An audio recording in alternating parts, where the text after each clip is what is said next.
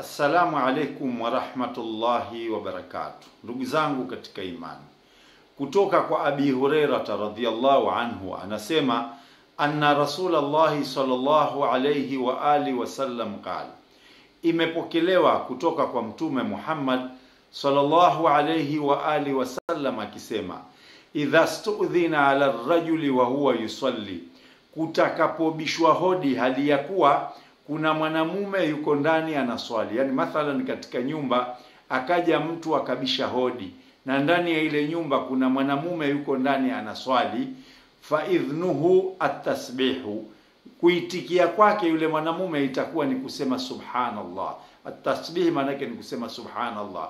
Kwa hiyo atakapokuja mtu akabisha katika nyumba ambayo pengine hakuna mtu mwingine katika nyumba ile, aliyoko ni huyo huyo mwanamume na yeye anaswali, asinyamaze kwa sababu utakuwa utamfanya huyu mtu atagonga, atakata tamaa, atakwenda zake.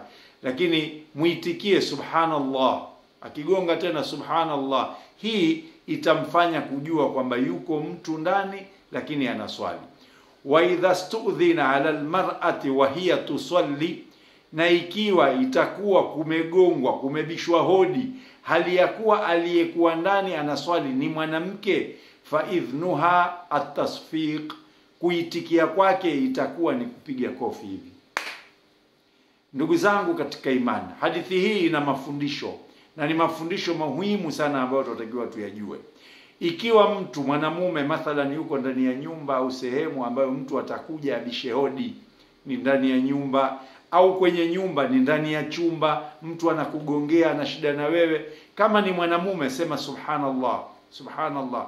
Kama ni mwanamke kwa maana ya kwamba mwanamke hatakiwi kutoa sauti yake hasa kwa mtu ambaye hamfahamu.